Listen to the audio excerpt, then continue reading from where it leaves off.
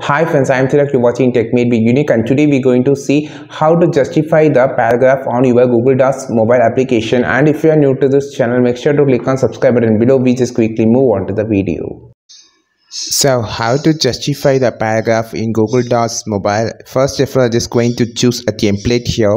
So I just kind of show how to justify this and uh, here I'm just going to choose this template and uh, here there's a paragraph. So just switching to the print layout so you can just view like this. So first of all double tap it and just select the entire paragraph that you want to justify.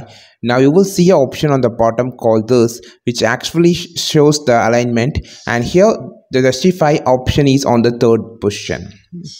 So so if i just make this to a paragraph like this and it's actually on justify. If it is like this or just like a center center aligned or like this alignment which is right element you can see in the corner there is not a straight line. You can just use this option uh, also clicking on the s on the top top you will see. Just click this. Now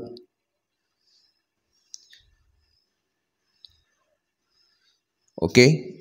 Now just zoom out just select this. Select all. You can just select it all. I just click on the option on the top. And here in the paragraph you will see the justify alignment which actually make uh, it's justify like this. You can see now the corner is on a straight line which is the paragraph is on the straight line. If it is on a center line or right line you can just make this to justify which is equal.